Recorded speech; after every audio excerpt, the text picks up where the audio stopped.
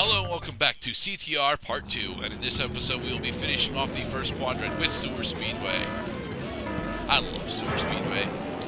Sewer Speedway is my favorite track in this quadrant simply because it actually feels really goddamn fast when you're really good at this course. However, I am not really good at this course, as evidenced by the fact that there's a particular shortcut right there that I cannot take. I have no idea how the hell you're supposed to get up there. I saw I saw the speed run of the dude doing it, and I'm still like, I, I can't do that. Yeah. I, I just can't. I think man. I know. It- I it- think I know what shortcut you're talking about. You have you have to hop in order to reach that one.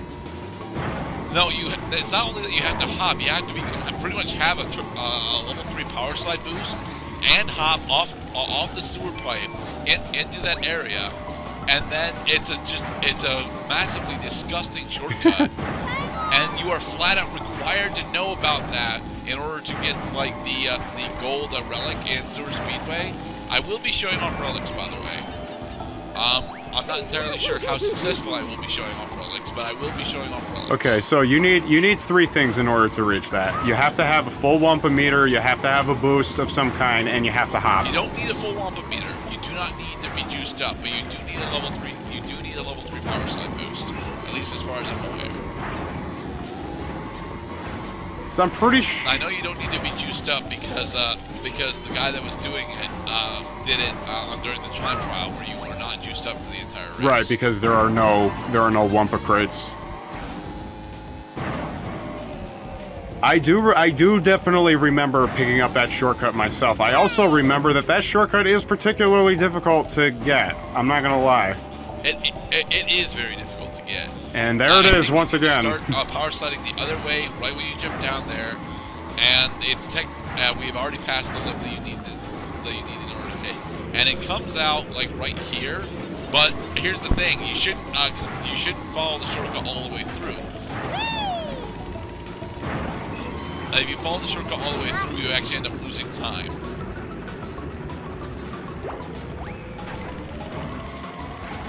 But yeah, Sewer Speedway is awesome. It's it honestly feels like a really fast track, despite the fact that it actually takes slightly longer than the other two, the other three tracks in the split.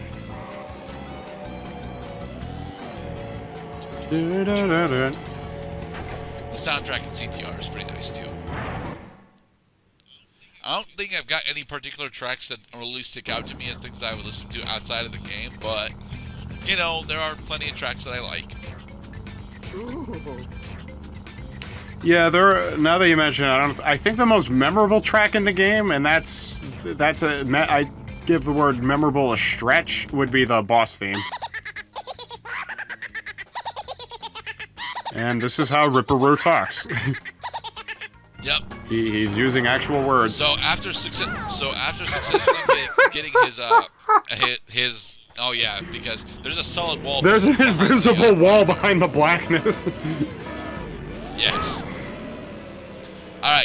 Races are just you against the boss, but the boss is actually has got significantly better stats than you do, regardless of who you pick. You can pick Dingodile or Tiny and still be lagging behind uh, some of the later bosses. Right. Ripperoo is very important to stay ahead of because uh, all the bosses have a particular power that they just have the ability to spam at you throughout the entire course. Ripperoo is TNT. I don't think he gets Nitro until lap two, no, he's got nitro now because he's throwing. He's throwing. Oh no, no, that's right. He throws the TNT and they explode on contact. um, well, let it. Let's let me state for the record that the boss does have to hit at least one power-up crate in order to start using his power-ups. But as soon as he hits that one crate, he has it for the rest of the map. and I think if you if you attempt to push him off the power crate, he'll still actually get the power up. I'm not entirely He, sure. he is a, he is I've all of the been in a bosses have a lot of weight. They have a lot of weight. They have a lot of acceleration. So even if you slow them down with a power up, they're gonna get right the hell back up to speed. But you're kicking his ass right now. Yeah, this is this is the result of me being very fucking familiar with this game.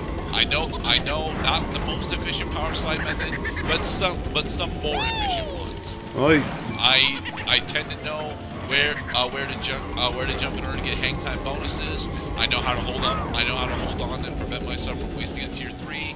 You know, this this is mostly just me. Uh, this most is mostly just me showing off my experience. Yeah, it pays off. as opposed to me actually being good at it. What you think? You think there's a you Yeah, think I'm there's not- a difference between skill and experience?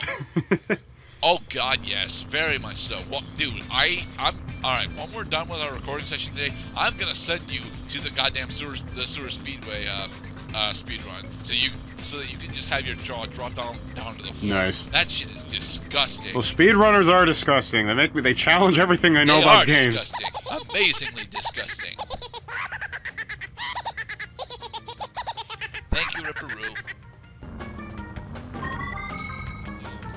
This boss key not only opens this door, it also resets all the races. Yes. What we can do from here.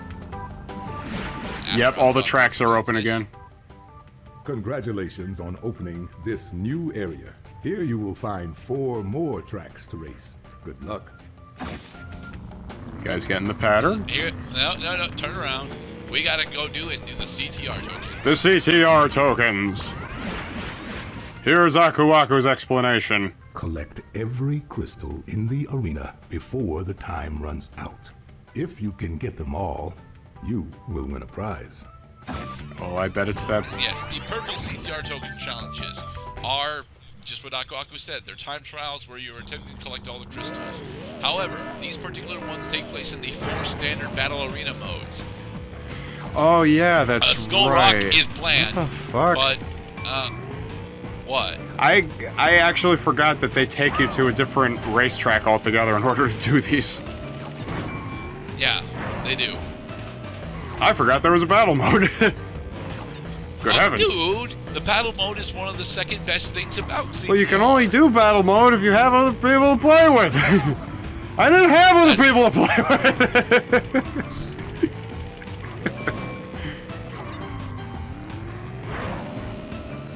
But Skull Rock is not honestly all that difficult. Uh, it is your first time because you have no idea how the placement works. But if you if you end up just going ar- uh, around in circles for a good portion of the time, you'll be okay. yeah. Basically, they're, they're they're not they're not that hard to find. Plus, you have infinite retries. Yes, you have infinite retries, which is a very good thing.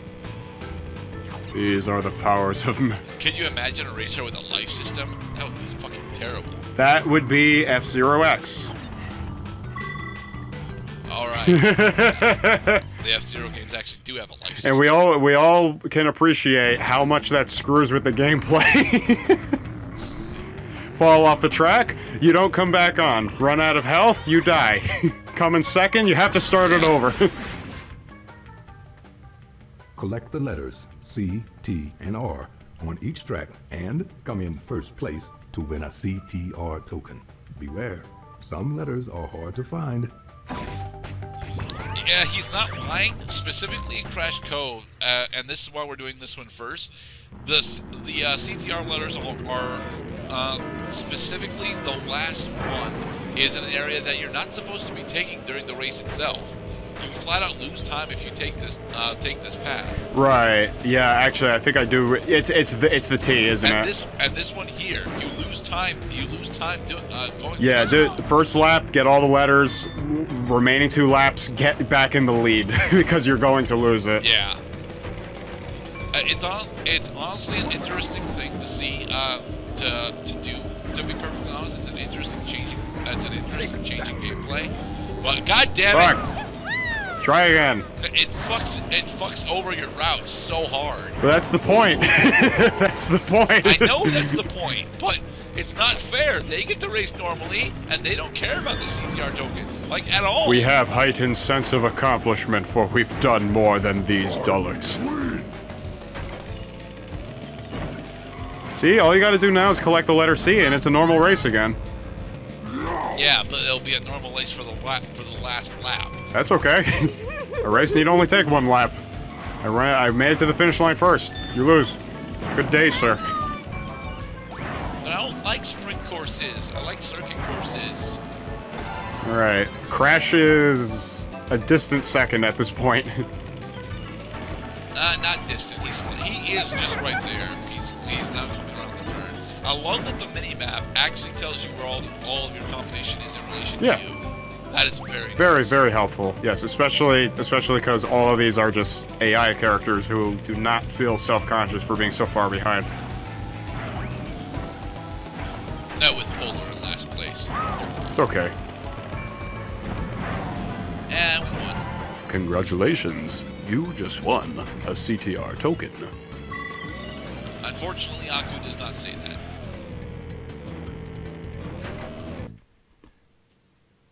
Loading. Yeah, he literally the CTR token uh, just you know uh, is added to your inventory.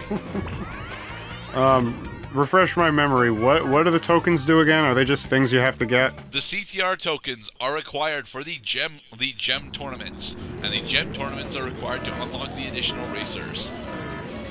There are there are a total of four additional characters that you can get by playing through the campaign mode. They are uh, Ripperoo, who we've already seen, uh, Papu Papu from uh, from Crash One, uh, Pinstripe. uh, Komodo Joe from Crash Two, and Pinstripe from Crash One. However, uh, there the fifth uh, the fifth gem cup, the purple gem cup, is for a character that was based on a marketing campaign that was absolutely and hilariously broken. I don't even think I've ever unlocked that guy. Oh, you see, Polar blocked you. Polar actually, Yes, he blocked a actually TNT blocked you. All right, Polar. You're adorable and all, but now you gotta die. I'm gonna get very. No, has to lose. We don't have to kill Polar. Polar is actually uh, Polar. If I was if I was going to do this playthrough just for fun, as opposed to as opposed to showing off how decent I am at the game, I would have actually picked either Polar or Pura, because Polar and Pura are actually pretty fun to play with. Oh, nice. You blocked it too. Yep. Nice. I had to wait until until my shield literally ran out to do it though. Yeah, that was. I thought. I thought you were gonna get hit because your shield just ran out.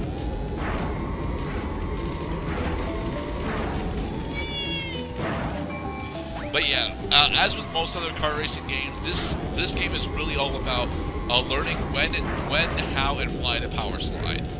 Yep. Tight turn. Power you, slide. Figured out how to uh, chain up uh, triple power slides on almost every turn, the game kind of just falls over. Basically, yeah. Because how else do you go faster? You're you're doing you're doing the dominant strategy.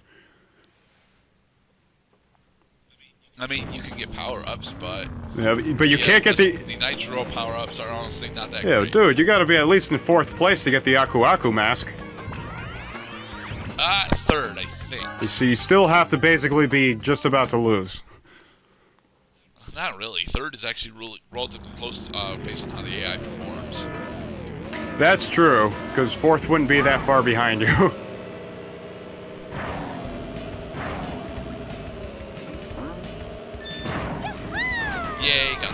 Now, this is a game where you can actually affect how the other racers do, versus what Crash 3 did, where basically I felt like I was running against a script the entire time. Um, what do you mean? You remember the race? You remember the the motorcycle levels in Crash 3? Yeah, but you were running against the script the entire time. But it felt dumb. I, I had no agency in how well the other racers were doing. I, I just had to avoid them. So you prefer kart racers over over normal racers then? yes, yes, I would I would definitely prefer kart racers, especially kart racers that give me a fucking spike shell if I'm doing really shitty. Oh come on, dude! Everyone hates the blue shell. You can't seriously be defending the blue All shell. All I'm saying is every racing game has to have a remedy for people who succumb to either bad luck or really targeted dicketry. Here you go. Yeah, but targeted dicketry is not really that big of a thing in in uh, in kart racers, specifically because in order to target someone with power ups, you usually have to be behind them. Yeah, Damn it! it's okay. It was necessary. See, there's a speed boost right there. And we hit polar with our red potion. Die, Polar. Uh, yes. When you uh, juicing up your power ups drastically changes their effects. For example, the green potion, which only uh, which uh, only actually in, uh, in, introduces a, uh slow, uh, small spin out to your opponents, becomes a red potion, which has one of three different effects: either wobbly suspension, suspension, ice physics, or I forget what the third one is. Something else really terrible, I'm sure. Uh, honestly, they're not that bad, but they all come with a, but, but they all come with a uh, rather significant speed down. Yeah, the worst, the worst thing that'll happen is, well, right over here. Put a fuck, put a put a fuck you right on the ramp, so that when they hit it, they lose their momentum and fall in the pit, thus exacerbating the, the Yep. decrease in momentum they just suffered. Although if you fall if you fall into a pit while you're affected by a red potion cloud, I think the red potion cloud goes away. Well, that's good. See, the game doesn't want you to feel too bad when you fuck up. It just wants to make it just wants to make it very clear that yeah, you fucked up. And in the next part, we'll continue getting more CTR tokens. Hmm.